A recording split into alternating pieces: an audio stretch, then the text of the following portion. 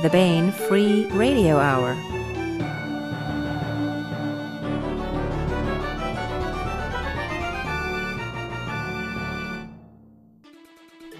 On the podcast, the warp, woof, and weft of getting out of low Earth orbit and into the interstellar tapestry. Dragons in the air, dragons beneath our feet, dragons everywhere. Plus, we continue with our complete audiobook serialization of John Ringo's Under Graveyard Sky. All right now. Welcome to the Baen Free Radio Hour podcast. It's an honor to have you along. I'm Baen editor Tony Daniel. And I'm Baen editorial assistant Christopher Ruocchio. This time on the podcast, we have an interview with Les Johnson. Les is a Baen author and anthology editor. He co edited our great science fiction short story and science collection. It's got articles and stories in it. That's called Going Interstellar with Jack McDevitt. He is the co author of science fiction novel Back to the Moon with Travis Taylor and of a great Mars mission thriller called Rescue Mode, which he wrote with Ben Bova. This summer, the sequel to Back to the Moon will be out. That one is called On to the Asteroid, and it's a thriller. Um, it's about an asteroid that threatens Earth.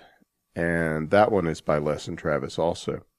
Les is a scientist and has several nonfiction books out there, as well as many science and space related essays and articles in the Baen Free nonfiction anthologies you can find at Baen eBooks. In his day job, Les is a scientist at NASA, although, as he often emphasizes, his opinions expressed here and elsewhere are his own. Right now, Les has a new nonfiction article on the Baen.com website, front page. This is Mars, Moon, or Bust, and it is a call for space advocates out there to get over their petty differences and concentrate on a unified goal. And Les offers several ways to rationally determine what that goal should be. All of that is coming up. And also, we continue with our complete audiobook serialization of John Ringo's Under a Graveyard Sky. Now, here's the news.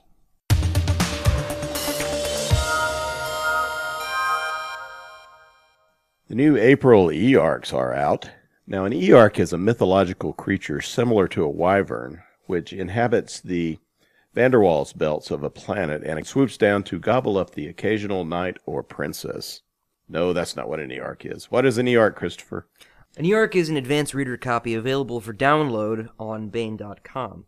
Uh, What's so special about them? Well, what's cool about the Earcs, right, is that if you can't wait for a book to come out, you don't have to, at least not with us. You can grab them usually a few months in advance of their actual release date as long as you're willing to put up with a few typos here and there.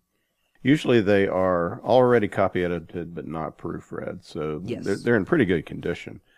And you get them early. All right, so out now in Earc form is The Dragon Hammer by yours truly, Tony Daniel. This is a young adult high fantasy, and I think it's one of the best things I've ever written. And I really think you'll like it if you like fantasy and adventure and dragons and heroism and bravery and love stories and gritty battle scenes. And um, maybe I should throw in spaceships so you'll read it, Christopher. Well, that would help. no, fantasy's cool too. I got spaceship books out there. The protagonist in The Dragon Hammer is 16, but I definitely think adults will enjoy the story. Uh, I did tailor it for young adults, especially though, and I think any 14 year old kid uh, or older, maybe an advanced 12 year old even, will enjoy the book.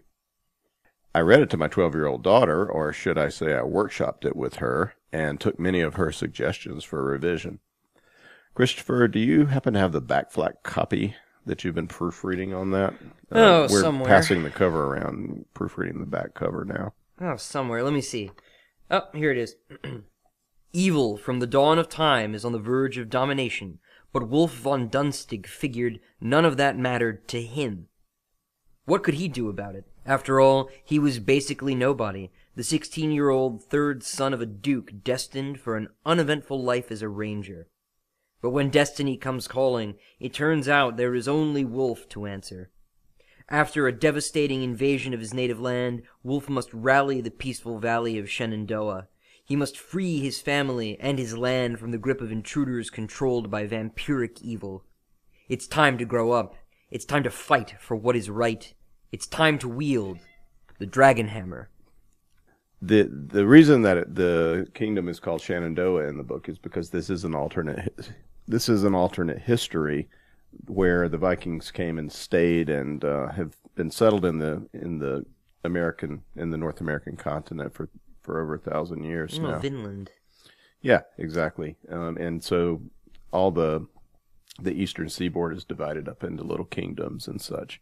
Um, so, and it's got magic and stuff as well. And I, you know, I'm real influenced by C.S. Lewis and Tolkien and Madeleine L'Engle and stuff like that. So, I think it's uh, it's a it's a good thing. Onward. Uh, what else do we have, Christopher? Well, also out now in EARC form is the year's best military and adventure science fiction 2015. This is a great collection edited by David Afsharirad, who often hosts the Baen Free Radio Hour when we are talking about short story collections. Yeah, well, this is uh, the second time we've done this year's best, and last year's edition got all kinds of attention, and the sales were just fine as well.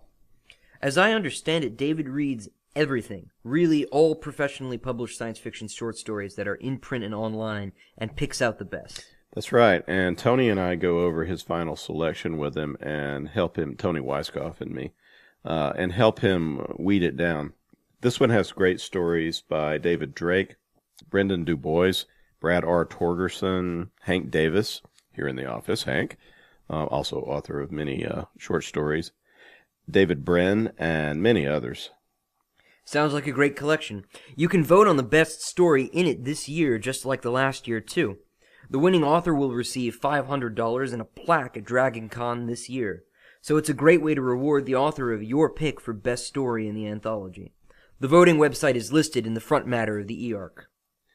And for Liaden Universe fans, hey, it's finally here.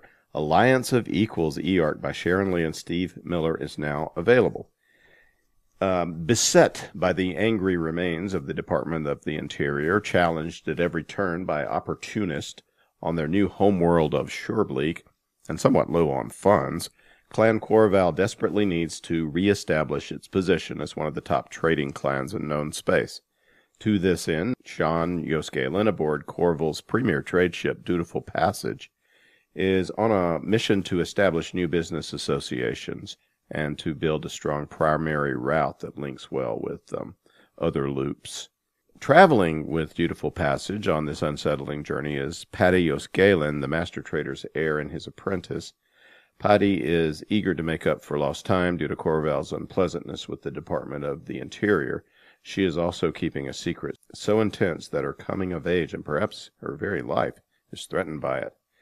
Obviously, this is another great entry in the Liaden universe, the Space Adventure Extraordinaire series, also available only at Baen eBooks in eArc form until July when the book comes out.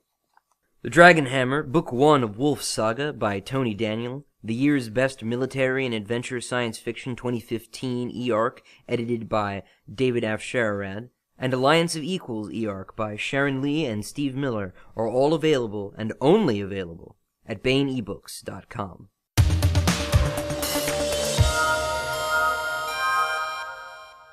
Want to welcome Les Johnson to the podcast. Hey, Les.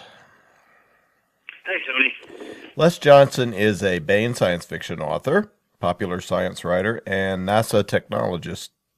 He has science fiction novels set in three of the destinations we're about to discuss Rescue Mode, which is a novel uh, he wrote with Ben Bova. It involves Mars. And uh, Travis Taylor and Les have written Back to the Moon and the upcoming sequel to that, which is On to the Asteroid. That's going to be out this summer. Uh, Les has a nonfiction book pertinent to our discussion, Harvesting Space for a Greener Earth.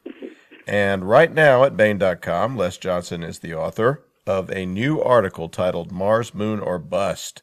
And it's all about how the space advocates out there need to get their act together.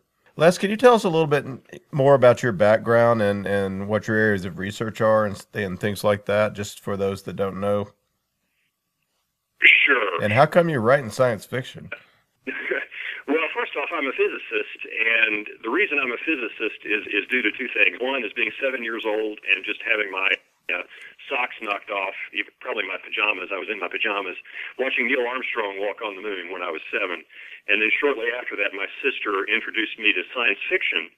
uh, probably, I don't know, I may have been 12 at the time, with giving me uh, a Perry Rhodan novel. I don't know if any of your listeners are familiar with the old I'm sure they are. English translation that Forry Ackerman did, but it was Realm of the Triplanets, and, and I remember that as vividly as yesterday, and it just hooked me.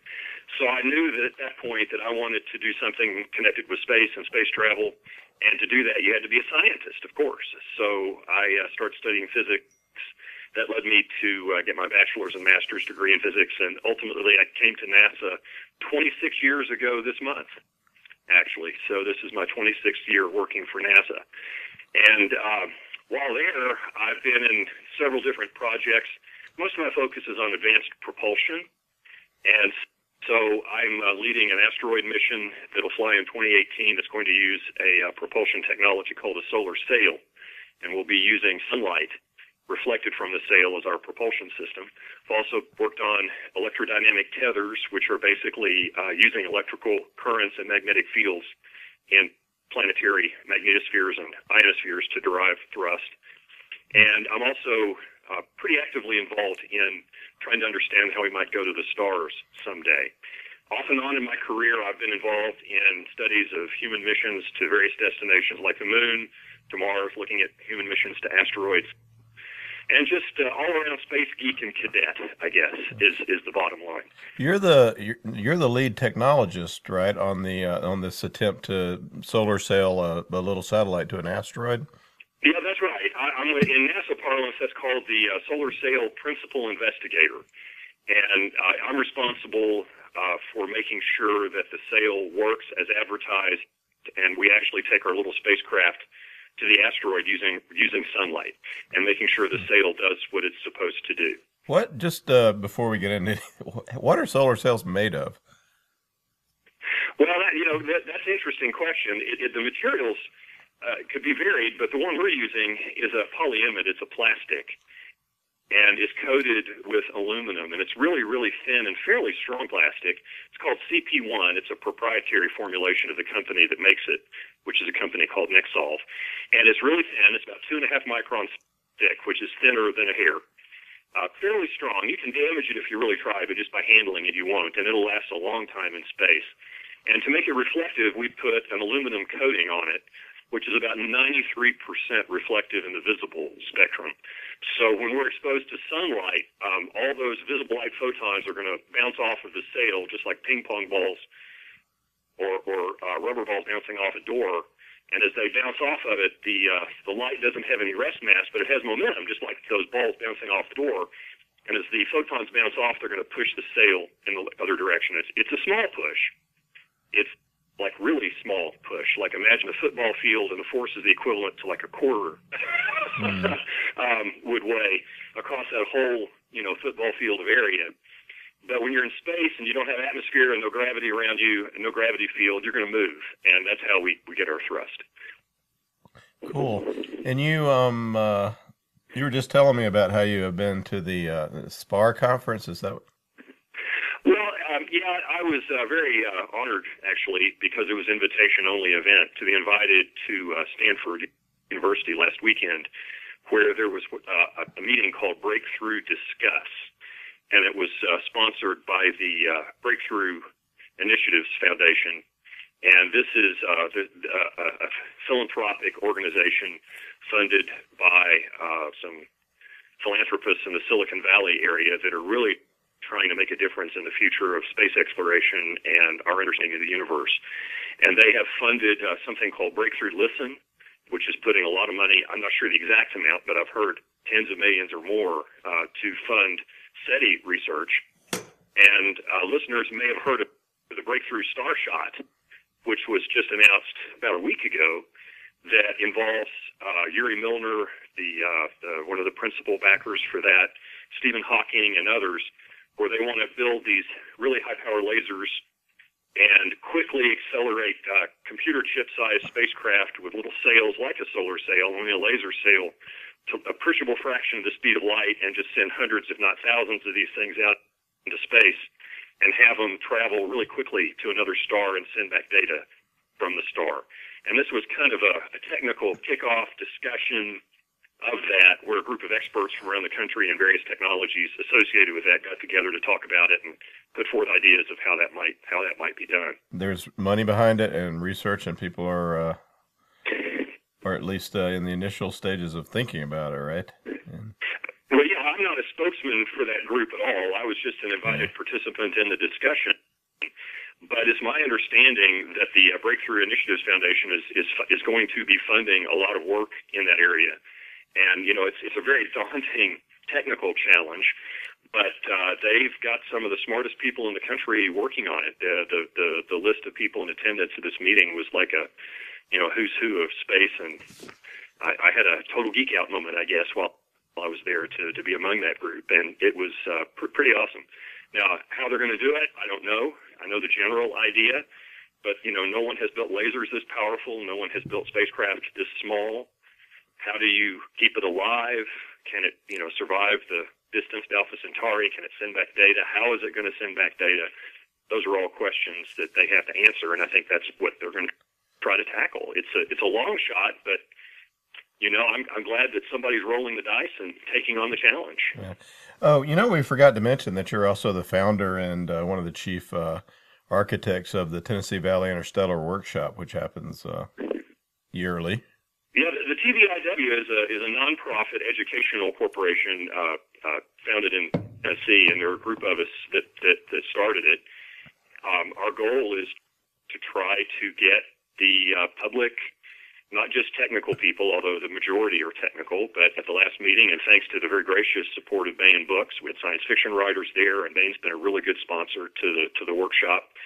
We had about 100 people actually focus for three days on the topics of going to the stars. We had the uh, principal behind this breakthrough star shot, Dr. Uh, Philip Lubin, who, before we knew about the star shot, talked about it, gave us a talk at the uh, workshop about what that whole concept looks like, and uh, had uh, not only a lot of fun, but we actually have some technical products, some technical papers, and some original research that comes out of our meetings that'll be uh, that'll be published. So if anybody's interested, uh, go to our website, uh, www.tviw, stands for Tennessee Valley Interstellar Workshop, and .us, and uh, check us out. And our next meeting will be in October of 2017 here in Huntsville, Alabama, celebrating the anniversary of the launch of Sputnik, and uh, we're looking forward to it.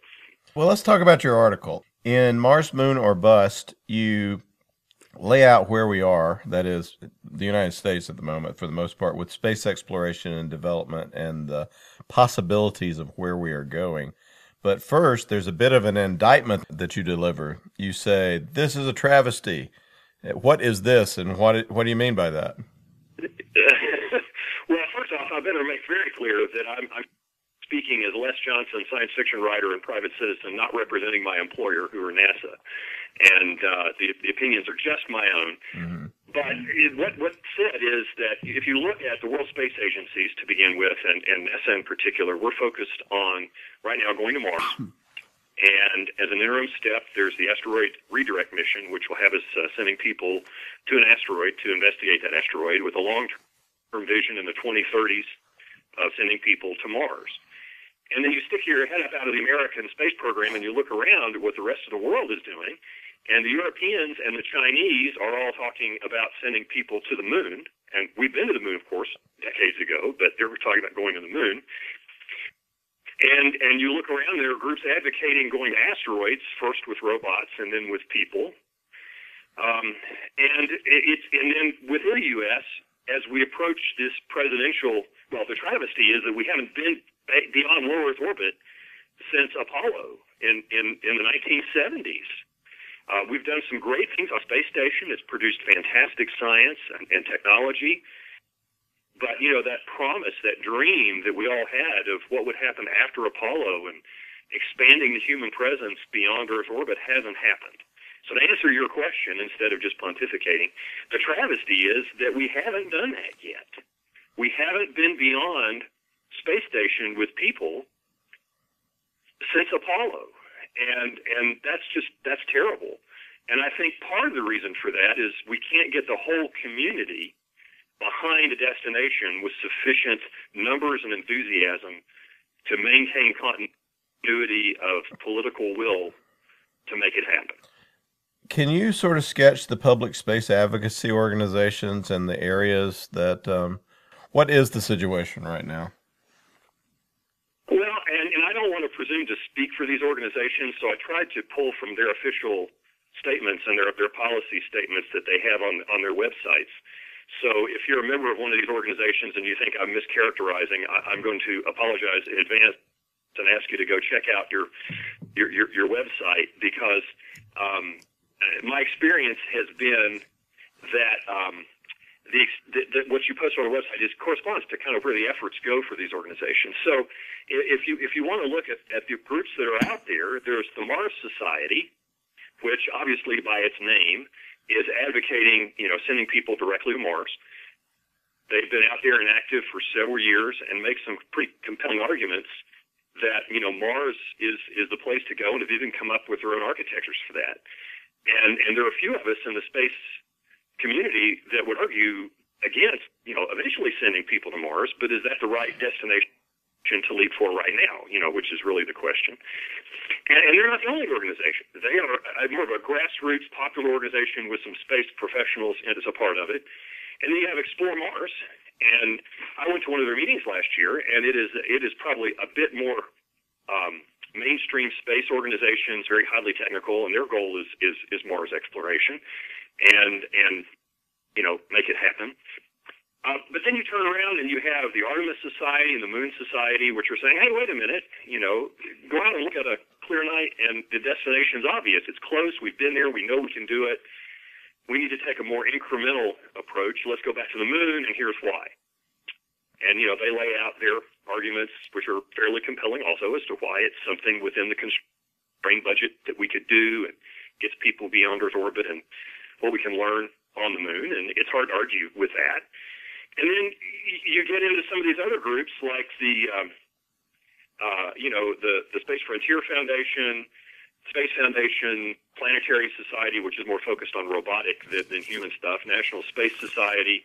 They're they're generally advocating for human exploration beyond LEO, and their emphasis shifts from topic to topic, but they're not solidly behind one, you know, destination or, or the other.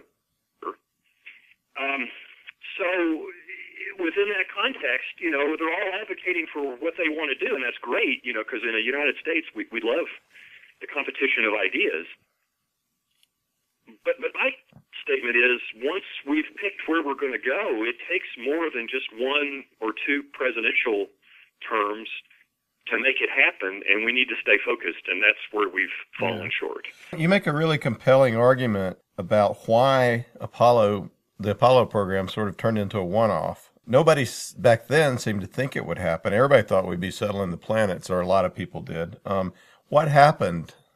Boy, I wish I, I wish I knew the real answer to that. Not having been a part of the decision process and only looking at that in the historical context, I've heard lots of lots of answers to that, Tony. I've heard, you know, this was the time of the Vietnam War, and we were spending a lot of money on space, and the war was expensive, and you know, I hear those arguments, but in terms of what space costs versus everything else, that doesn't really hold water. Well, you make a really good argument that it why it was exceptional, which is that um, that you know it was a feeling that we have to carry out this vision that the that our assassinated, uh, martyred president wanted, and it, and it was able to carry over several terms of uh, the presidency, right? Absolutely. It was to honor a popular president who had a compelling vision at the middle of a global competition of economic and political systems, the, you know, us versus the Soviets and, you know, capitalism, democracy versus uh, communism and dictatorships. And, and so all of the magic sauce was there that, that enabled that to happen. And I think the public kind of viewed it as honoring President Kennedy's legacy. So, but, you know, after we did it and public interest started waning, and, and my personal opinion is that the risks of losing a mission were there throughout, and we hadn't really lost any people, although we came darn close on Apollo 13. You know, combining all those factors with, you know, my own personal pet theory, which is Nixon just didn't really want to continue honoring Kennedy because, of course, who beat Nixon in the presidential election of 1960. That was that was John Kennedy, just put it all together to terminate it. And and that was that's that's the big travesty because you know von Braun. Well, you may not know this, but von Braun laid out a pretty solid plan for consistent improvements to the Saturn V and developing a nuclear thermal upper stage, which would would be used to take us to Mars. He had us uh, flying by Venus with people in 1970s in his plan and a Mars landing in the 1980s. And then all of that was just cast aside and put on a on a shelf. And that's kind of this, you know, the stasis of low Earth orbit. We got the shuttle, which was a great vehicle. We did a lot of science and learned a lot from it. Led to the space station, which has also been, uh, in my opinion, a worthwhile investment and a good thing. But it hasn't, it hadn't enabled that thing we all want, which is you know, I want my moon base. I'd like to see hotels in orbit. I'd like to see mining asteroids, and I'd like to see see us exploring Mars. And we don't seem to be any closer to that today than we were 20 years ago or 30 years ago. So we need to rec- we need to recreate some sort of perfect storm like Apollo, although it won't be the same thing. Um, but we have to decide on something to start with. What's the deal with Mars? Well, and deciding on things is, is, is, I think, absolutely critical. And even even more than that is once it's decided on, we need to stick with it. And and in the space community, we tend to break this down into us versus them, and we end up using those arguments against each other. And then the people who are critical of space development pick up on that and end up using our own arguments against all of us. And and so, you know, when you ask the question, what about Mars? You know, hey, I wrote a book about exploring Mars, about the with Ben and and and the dream of you know footprints on another planet. I mean, who hasn't looked at those wonderful photographs and data we're getting back from the rovers and just imagine, you know, what that view would be like if you're standing there yourself. I mean, I get goosebumps just just talking about it. And what's so sad is is I know that technically, if someone were to come with the resources and say we've got to go now, we could go is, is outside of the current uh, budget for uh, for uh, uh the U.S. Space Agency to do, but it could be done in collaboration with others. Could be done as a private-public partnership. NASA has plans to do it in the future and is knocking off the technical challenges to get there eventually. But you know, if you look back 10 years ago, uh, we were thinking we were going back to the moon with Project Constellation under the former President Bush. And things change. And it changed, and we went from the moon to Mars, and that'd be great. Can we sustain the political will to do that over the next 10 to 20 years? Basically, in your article, you you do you, you lay out the different options and, and what the pluses and minuses of them very carefully. What are the other things that that can be done? Um, there's the moon, there's asteroids, and there's a solar satellite array you also bring in as well. What about the moon? Well, yeah. Um, it, it has gravity. It's a heck of a lot closer than Mars. Um, it has some resources. It, it does, and, and the most important thing uh, that the moon would do for us is is teach us how to live and work in space in a way that's not that far from home, so that if something goes wrong, help is nearby and you can get home quickly. And um, as we are taking those steps beyond Earth and Earth orbit, be risky. And if something fails, do, do you want to be three days away from home or do you want to be nine months to a year away from home? And that's one of the most compelling arguments for the moon, in, in my opinion, as a stepping stone. And then there's a lot of science to be gained from the moon, as well as potential use of lunar resources to help build some of the other things I talk about, which are space solar power stations and otherwise. So, you know, I can see the argument for the moon. Um, and it's it's as exciting to me as going to Mars, but it's it's it's not going to be that thing that makes us a truly interplanetary species, but it is closer and it is a stepping stone. Yeah. And, and then you, you look at the other destination. Oh, go ahead. If you have a question about the moon, or I can just go on and talk about the asteroid thing. Well, let's um, let's lay it all out there and then talk about each one a little more. So you know, asteroids. Uh, that, that is something that NASA has plans to do, and there are various private companies and now other governments, Luxembourg and others, that are talking about mining asteroids. You know, every element and resource pretty much that we have here on the planet is available out in space just for the taking within whatever context of international law ends up governing all this.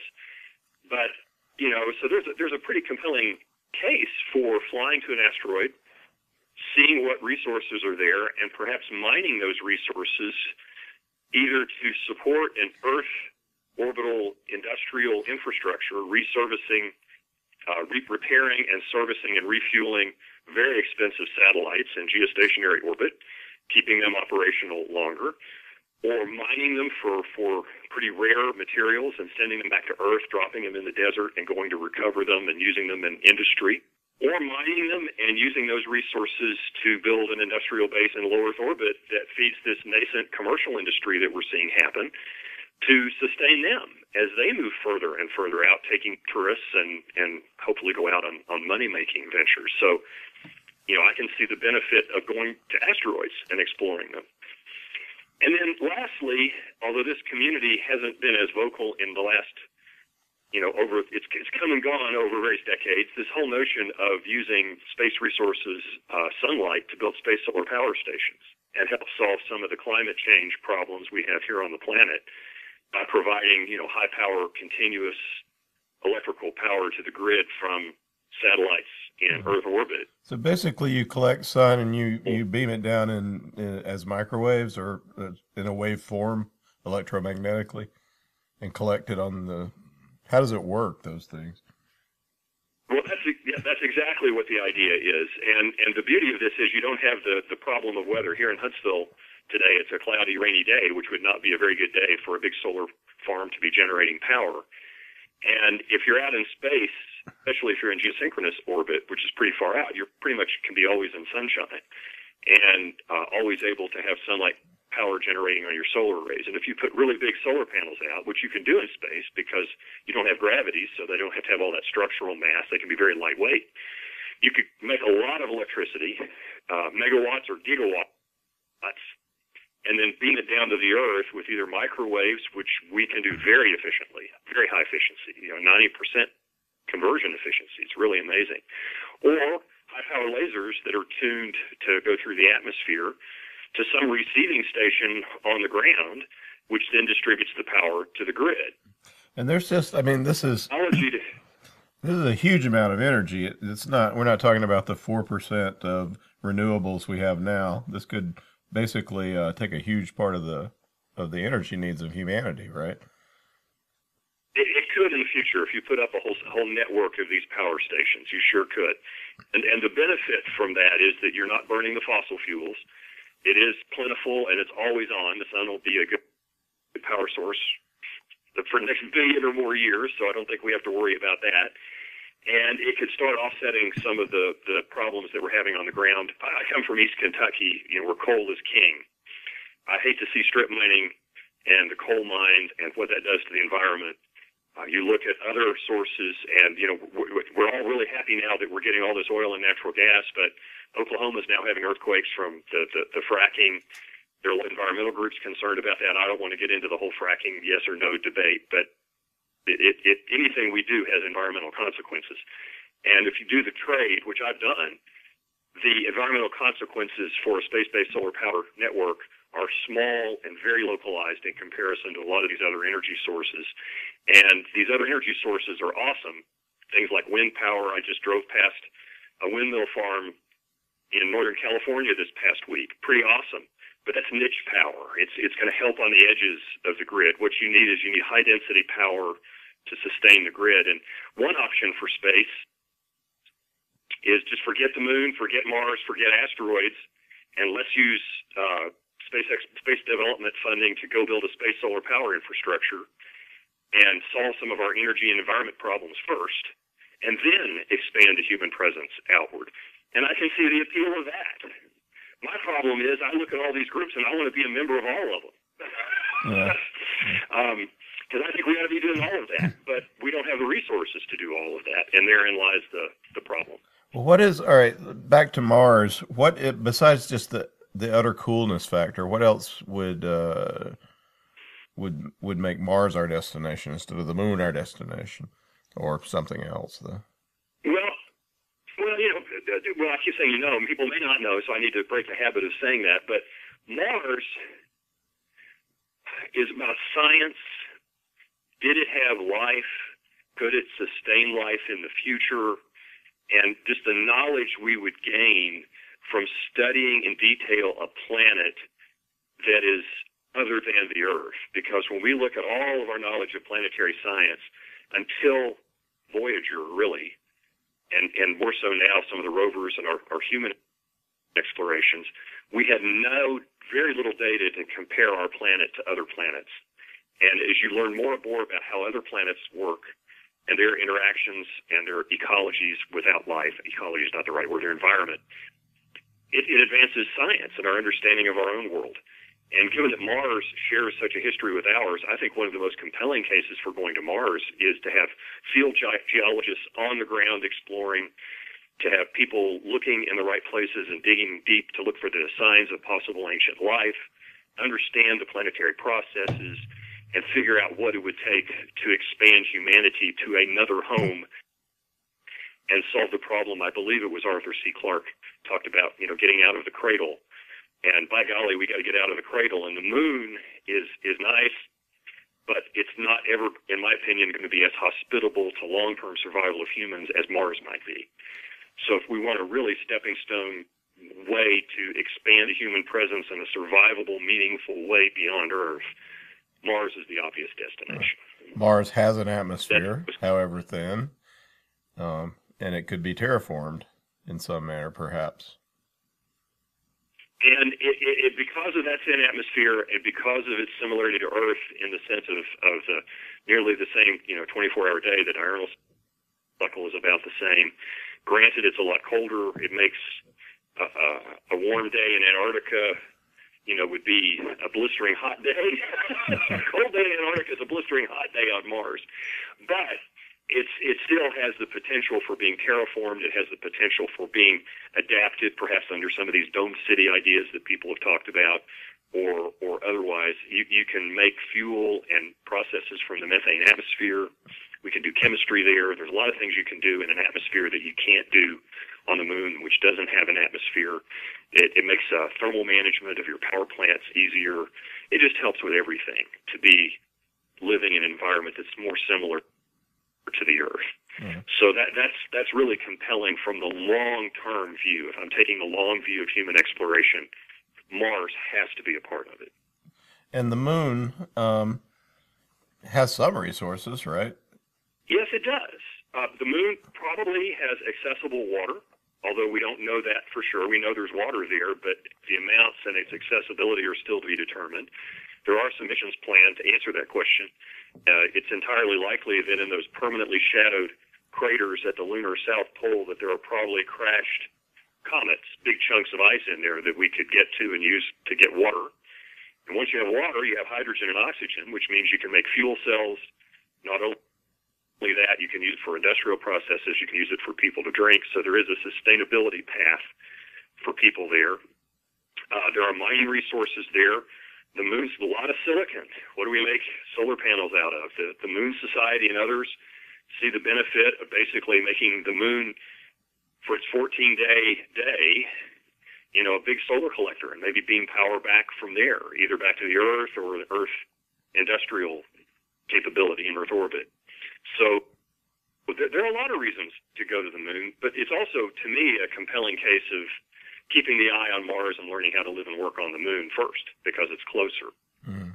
Is, is one of the arguments, and it has some of the coolness factor of going to another planet um, that you get with Mars as well. It's oh, absolutely. You're standing on something, and, and you know, t- you know, Tony, almost well, I won't say almost. I'll say all these destinations have the coolness factor. Mm-hmm.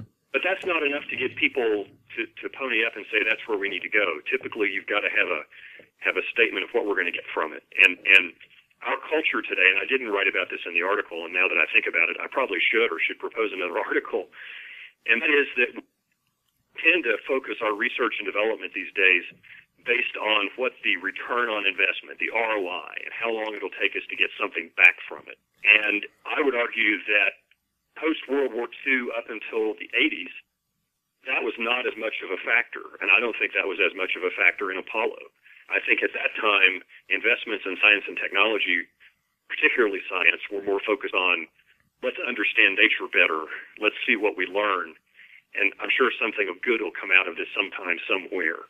But don't you think a lot of the utilitarian arguments are are defensive by space advocates so like because they've been so pounded by why do any of this? Why don't we you know solve our problems here first? And they need to come up with some answers that that um because people that make these arguments just don't feel the sense of wonder apparently that the rest that, that us the rest of us do. Um i don't know. I, I i'm less inclined to um to blame those who use those arguments as much as um feel pity for them because that's the that's where they've been driven to. But anyway that's that's just to throw that out there. And so what about the asteroids? Um, speaking of return on investment. Well, if you're if you're looking for an ROI, there there are, and I can I can mention these two companies that I'm aware of, uh, Planetary Resources and Deep Space Industries. They they are looking at the resources that are there and potentially tapping into an a new market that's much closer term than people in space would be, and that is that that there are a lot of very very expensive satellites billion dollar class satellites, making a lot of money for the companies that own them in Earth geosynchronous orbit, really high orbit. And those satellites last decades, but they still have to use fuel to maneuver to stay in position where they are. And they are the satellites that give us much of our telecommunications revolution. Cable TV, a lot of satellite data transmission, secure satellite link for, for data and financial transactions, and all sorts of things. And and these big birds, when they fail, they have to be replaced, and that's a that's a huge upfront cost. If these satellites were made to be repairable or refuelable, think about how the astronauts did when they repaired the Hubble Space Telescope. But now you could do that robotically, and instead of spending tens of millions, if not hundreds of millions of dollars to launch all that propellant from Earth to refuel these things, what if you had a way to take a little robot that you launch and extract water ice from a comet and just go and tank up these satellites. And after you top off the tank and extend their lifetime by five to ten years, saving somebody multiple billions of dollars who will pay you to do that, you go fill up again and go do it for another customer, right? Mhm. So there may be a market in the near term which gives an ROI for robotic asteroid mining, and it's just a step beyond robotic to see people out there overseeing these operations because there's nothing better than people to fix machines when they inevitably break. Somebody's got to be there to kick the tire, right? And so, you know, I can see the argument for for that because that's something that could be a near-term return on investment for private business. And part of our space exploration charter by governments in general is to do the upfront research and development to enable industry and commerce and people to follow. So, you know, working some of the technologies to to explore asteroids is a, is a great idea. And what is um what's the science? Uh, what is the what's cool about asteroids?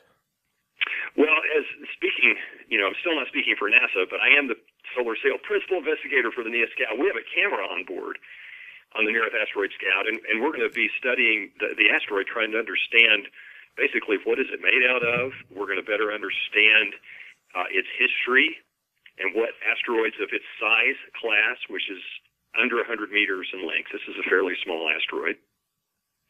But you know, the question of is it a single rock? Is it multiple rocks that are loosely bound gravitationally?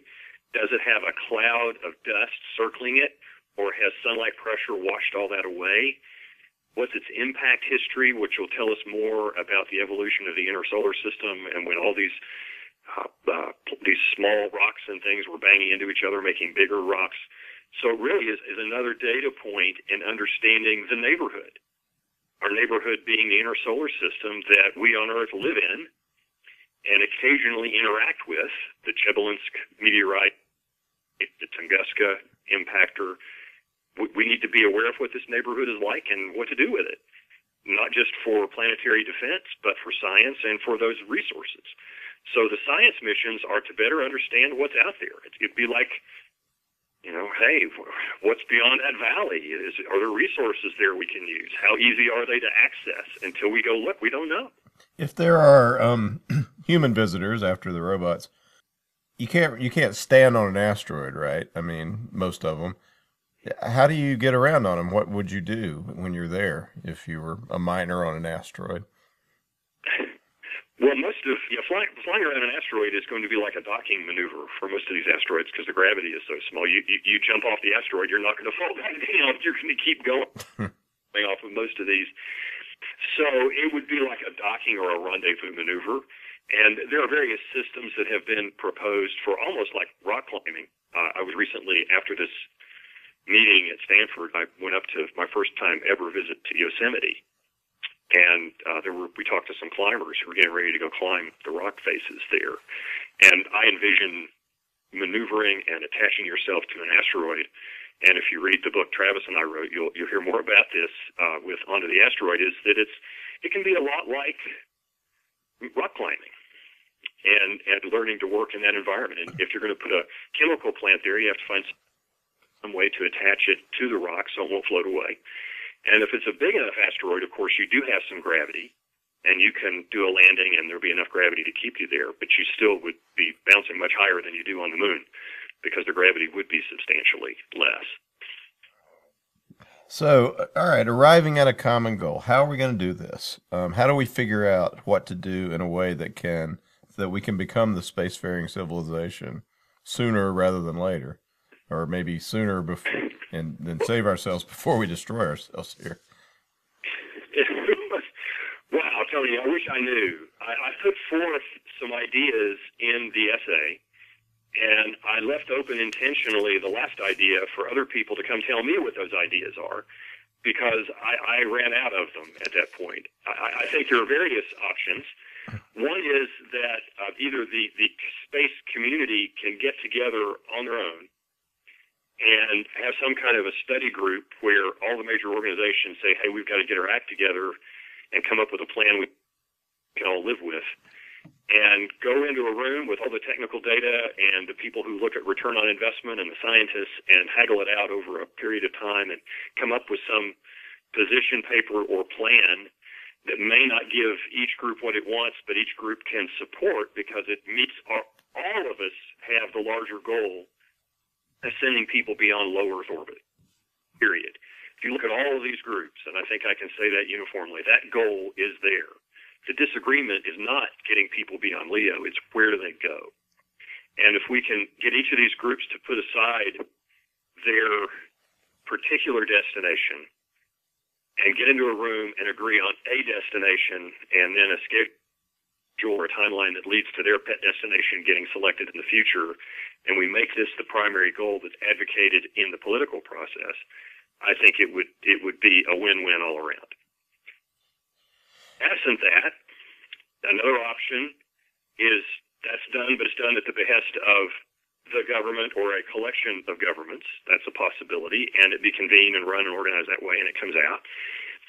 And I can hear the private space advocates saying, "Why are you talking about governments?" And and I think that's another that's another thing I want to touch on before we end this interview today. But in, in terms of the list of options that go down here, another option is we can just keep doing what we're doing, and basically advocate for what we want to advocate for, and go talk to our leaders and push for what we want to push for, and whoever wins wins, and just Mm-hmm. Keep your fingers crossed that it doesn't reset every election cycle when somebody else wins. And, and that clearly hasn't worked. So I'm not a big advocate of, of that approach. Well, one thing you talk about is creating a sort of dialectic that sort of feeds, uh, like having one solution that one party in America would, if you're talking about the United States, would take up, and one that the other would take up, but both parties would then, of our major parties, would then have something it was advocating. Yeah, and that's a dangerous path to go on. Uh, it, it, and I'm not sure I'm really advocating that one. It's one option, mm-hmm. but one of the the wonderful things about space that has been enjoyed by NASA and space industry in general is pretty significant uh, support from all parts of the political spectrum. And I, I really don't want to see space exploration become, or a particular destination become associated with one political party or one mm-hmm. political mm-hmm. ideology. So that was more of a, a, a warning than a, that you were given. This could happen, is what you were saying, if we don't watch out. It's certainly an option.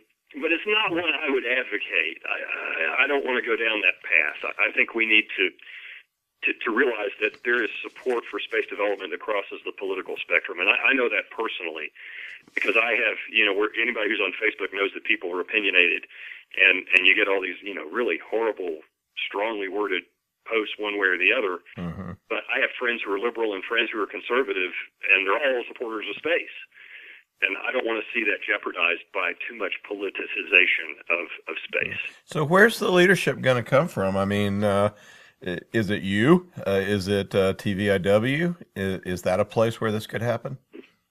I, I think, uh, well, I'm flattered you would say, is it you? I mean, I have my opinions. I, I write for blogs, I publish science fiction, I write nonfiction books about why we go to space but but I'm not sure I am the the charismatic voice that we had with von Braun and Sagan and others, right? I mean, they were in a league of their own. I think it's going to have to come.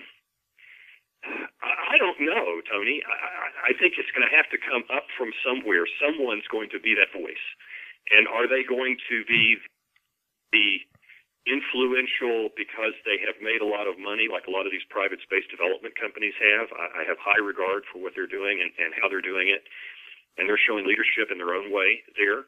Is it going to be through the political process and we have another John F. Kennedy moment? I don't know. I, wish I could answer that question. I, I just think that the community, when that moment happens, needs to line up and support them and not fight amongst ourselves. And and I know that'll be hard, but the, the resources are just too limited to do the other to do the others, or we'll be stuck where we are. One of the things that's in the article is a graphic that you present that I thought was really cool. It's sort of a Ben Franklin pro and con, uh, uh, and and you have different categories that you sort of say better, worse. Um, and I, you know, I thought that was a very clarifying chart. Um, can you talk about that a little bit? The... Sure, sure. And and first thing I'll say is anybody out there, in fact, most anybody who's who's worked these fields will probably quibble with some entry on my chart. And uh, so I'm just going to stress that, hey, write your own article or reply to mine because this is just my opinion. But, but when I looked at that, I put down the, the different destinations we've talked about the moon, Mars, asteroids, and then using space for energy and resources, and try to kind of give a comparative feel which is more expensive or which has a higher return than the other. As you go down the list, there are attributes of each of these that weigh into the decision process. One of those, of course, is cost.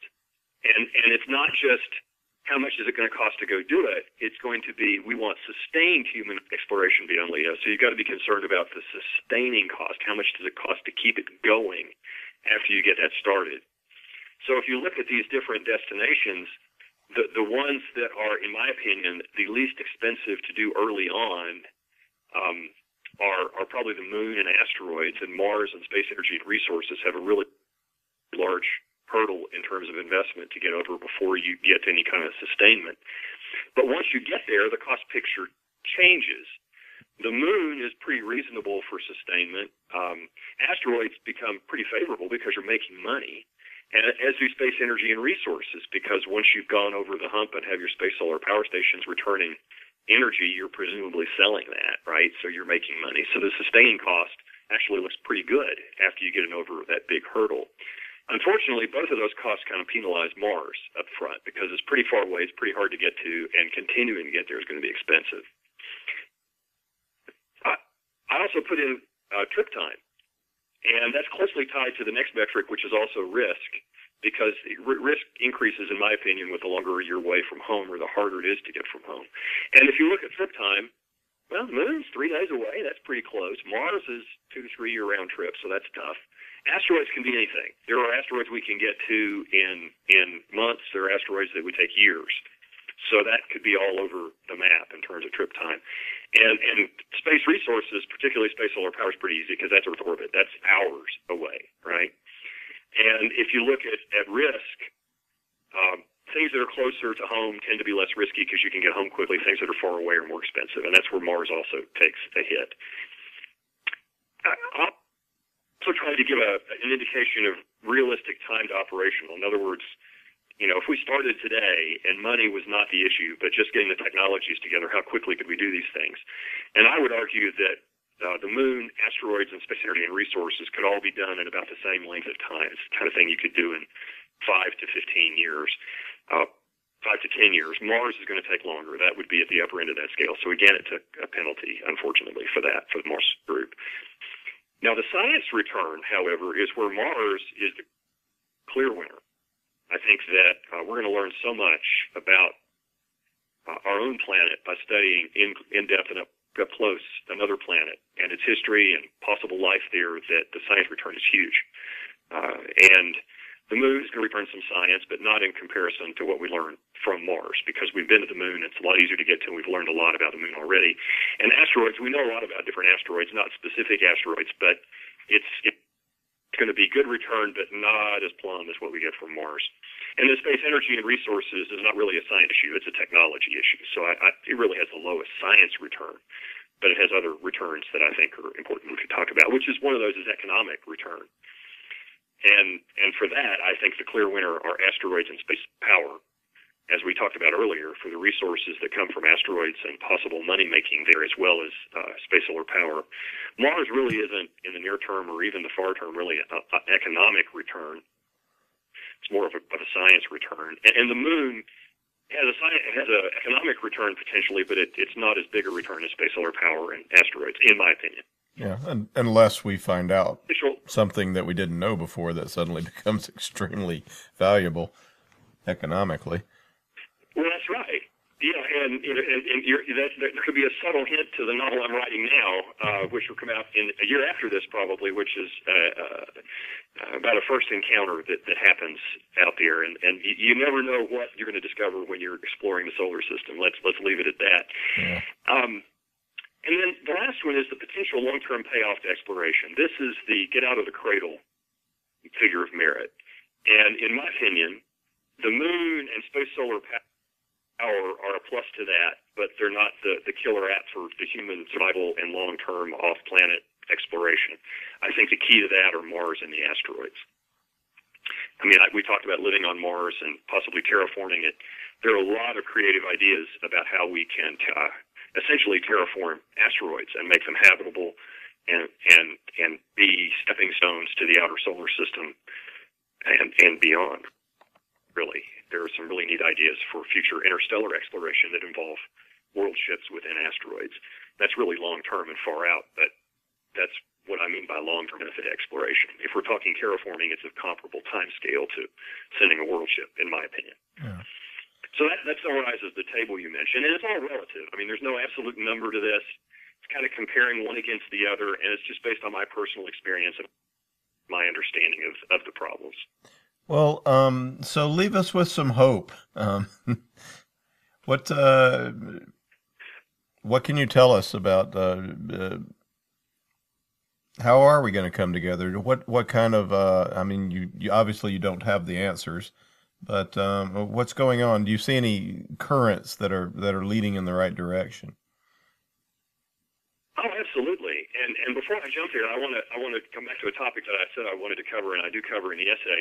Okay. There's also this this false um, notion that you have space development and exploration is going to happen either by government space agency or through private.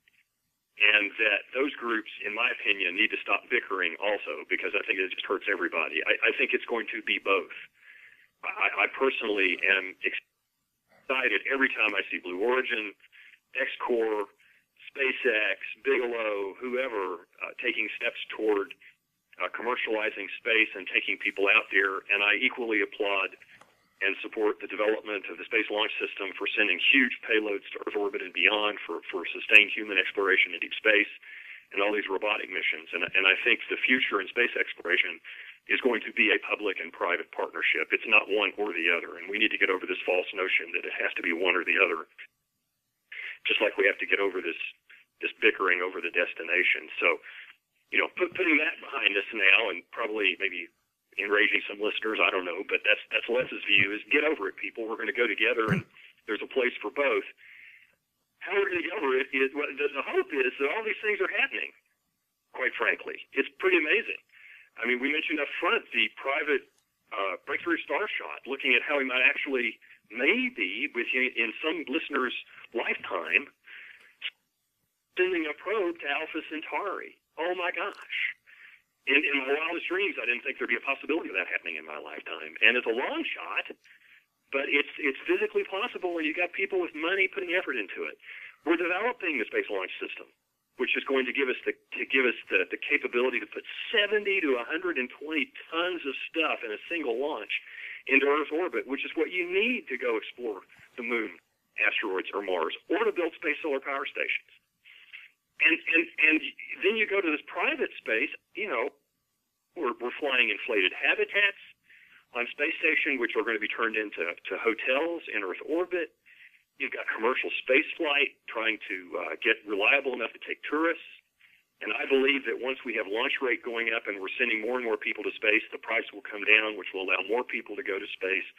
And it's a self-feeding prosperity. So I'm bullish the only thing I'm not bullish about is where we're going to go with this capability we're developing. And unless we come together and agree on where we want to go, I'm afraid someone will eventually come along and question should we maintain this capability or not? And then we'll be back where we were when we lost the capability at the end of Apollo. Uh, the private space industry could be killed by regulation could be killed by international agreements and treaties. Uh, government exploration of uh, moon or Mars or asteroid is subject to the whim of the electorate and what they perceive the people want to do. So there are risks out there. In democracies and the whims of those, idiot dictators and in other places. Yeah. You're exactly right. And and even in the private space, you know, all it's going to take is a major accident from one of these commercial providers and a bunch of lawsuits to potentially stifle private space. So these are all risks, but I, I don't know that I've seen as much energy and innovation and new capability coming into space in my career or my lifetime as there is now. I really think that this is an opportunity moment. We're at one of those historical cusps and if we make the right choices and work together in the right way, we might break out of Earth orbit and stay out there. I'm optimistic. I feel like I'm preaching to the choir. Amen, brother.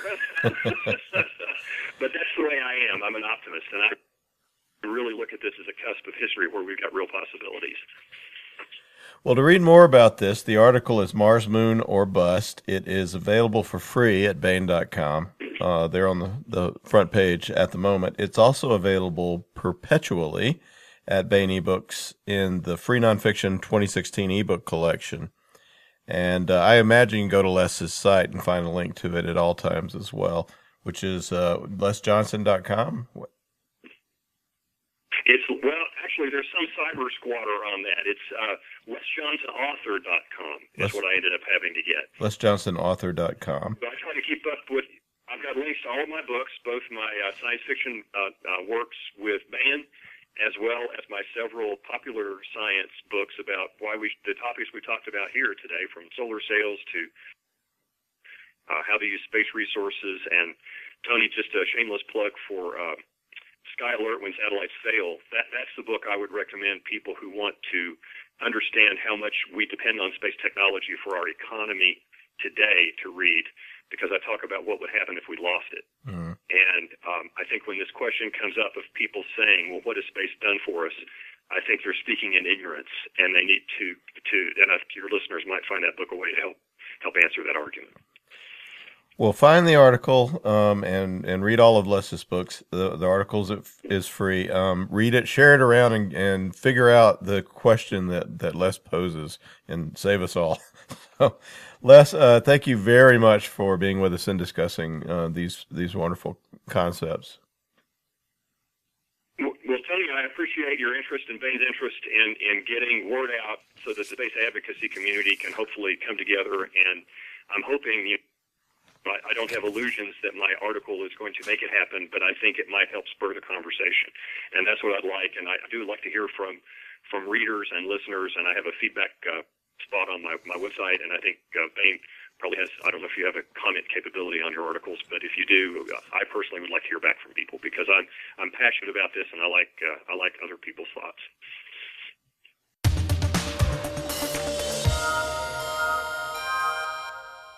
Now we continue with our complete audiobook serialization of John Ringo's Under a Graveyard Sky. This portion of Under a Graveyard Sky is provided by Audible.com. Get the complete audiobook at audible.com now. If you are not a subscriber, you can get the entire audiobook free or choose from more than 100,000 other titles when you try Audible free for 30 days. Now here is another segment of John Ringo's novel of zombie infestation and the heroic humans who fight back, determined to pull the world from disaster and humanity itself from the brink of annihilation. It's all taking place under a graveyard sky. Chapter 30 Back on the Campbell, Gardner said nervously. She had a 10 millimeter and a shotgun the Smiths had borrowed when they cleared the Coast Guard cutter. They'd searched the whole ship for infected, but getting back on the ship was giving her flashbacks. The ship was being towed by a submarine, of all things. They'd taken a 24 foot inflatable to make the rendezvous and pick up critical medical supplies. Everything else could wait until it was in place near the liner. It'll be okay, P.O., Seaman Jeff Woodman said. We just get the sail in and go. Easy enough, Gardner said. She keyed open the deck hatch, started to step across the coaming, then stopped. What the hell? The floor was swarming with black bugs. There were so many, it looked like the deck was black and moving. Oh, gross, Woodman said. Where the hell did they come from? Jesus Christ, Gardner said quietly. What? Woodman asked. She was shining a light into the interior. He craned his head around to look. On the deck was a skeleton. Some of the bugs seemed to be fighting for the last scraps of flesh, but pretty much everything but bone and some scraps of skin and hair were gone. Bugs were even crawling in and out of the eye sockets, cleaning out the brains. Holy crap, Woodman said. I don't want those getting on me. I just figured out what they are, Gardner said stepping through the hatch after a flash around with her light. Every step caused a crunch, and they won't bite. They stripped that guy to the bone, Woodman said. That's what they do, Gardner said. Bending down and picking up one of the beetles, it skittered along her arm, and she shook it off. They're carrion beetles. Carrion, Woodman said. So they eat people? They eat dead flesh, Gardner said. I'd heard Wolf say he'd seeded the boat. I didn't know it was with these. Wolf did this? Woodman said angrily. To our people? Six of us came off, Woody, Gardner said softly. Ninety-four, and twenty-six refugees didn't. You've carried bodies. You know how heavy they are. Now they're not. That's horrible, Woodman said. No, Gardner said, flashing her light around. It's efficient, simple, and brutal. It's wolf all over if you think about it. These things only eat dead flesh.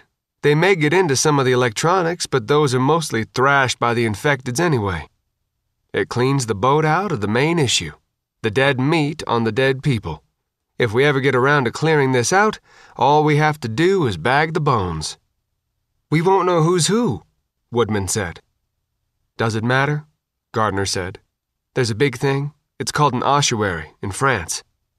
All the guys who died in a certain battle in World War I, they buried them, waited for bugs like this to do their work, then dug them back up.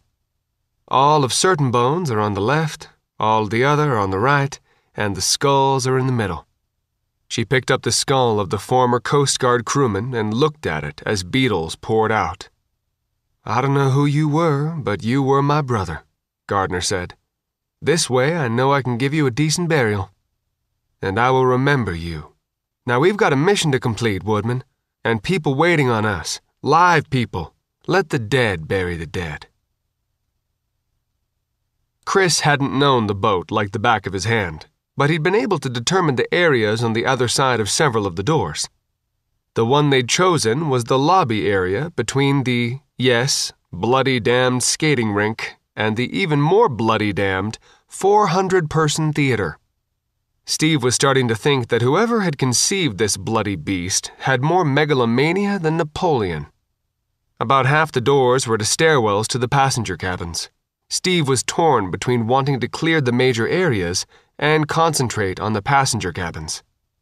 But the way their fire had to be echoing in this ship, the passengers surely knew they were on the way. And he wasn't sure he yet wanted to clear stairwells, possibly filled with zombies. We'll open and attract from, not clear, this area, Steve said. Then the theater. Then start on the passenger zones. Roger, sir, Fontana said, shaking his head at the pile of ammo boxes. They'd gotten boats alongside and brought up more people, including some trained seamen who were willing to go into non zombie areas. With their help, they'd brought all the ammo up onto the deck, well away from the zombie bodies. Steve had also had them bring up some of his little friends, and they had been scattered on the bodies, and the team had gotten a bite to eat and rehydrate. Time to get back to work. The outer doors were already open. Faith checked the door, shook her head, put away the stethoscope, then pulled out the Halligan tool. This time, Fontana and Hooch were on either side of the door, ready to pull. Steve swiped, then pulled back to cover. Faith popped the door, stepped back, and started to put the tool on the deck. But there seemed like time, so she stowed it away in its holster. Steve realized that they'd made a mistake. Not a major one, but a mistake. He either should have had Faith take one of the rifles or have Fontana handle the Halligan. The shotgunners were the first line of defense, with the riflemen backing them. It was a minor point. There was, again, silence and darkness on the far side of the hatch. The foursome lined up in the hatch, and Steve lifted the whistle and blew. Again, there was a guttural howling from the interior. They immediately started to back up and were to the exterior hatch before the first zombie appeared. White, Steve said, taking the shot. I thought you said shotgun in here, Faith complained. It was a clap shot and we're conserving shotgun ammo, Steve said. Rotate for engagement. They continued to back down the deck and stopped at the point they'd planned. And waited. There were sounds from inside the ship, but no zombies appeared. I think they stopped for a snack, Faith said. It was hard to hear with all the gear on their heads. Bloody stupid, Steve said. He lifted the whistle and gave another blast on it. That got some coming around the corner, and he and Fontana began to engage. The crackle of semi automatic fire started to draw the zombies, but slowly. They came out even more slowly than at the theater, and the two riflemen continued to pick them off as they stumbled, mostly blind, into the light looking for the source of the sound and thus food. Finally, there were only the growling sounds echoing from the hatch. Faith, Steve said, don't want you whining. Going pistol, Faith said. She started to reach for her 45, then pulled out one of the 10 millimeters that they'd gotten off the Coast Guard cutter. They'd left the arms room alone, but any weapons on the deck were considered fair game. Cover me, Hooch. Got it, Hasianik said following her to the hatch. Faith fired several slow and deliberate shots into the darkness and downward. Then she shifted up and shot twice more. I know this is a more powerful pistol, Faith said, reloading and putting the weapon away, but it really doesn't feel that way, you know? We gonna close these doors? I'm not moving the bodies. Next time, wait till they're clear of the doors, then, Hooch said. Cover me.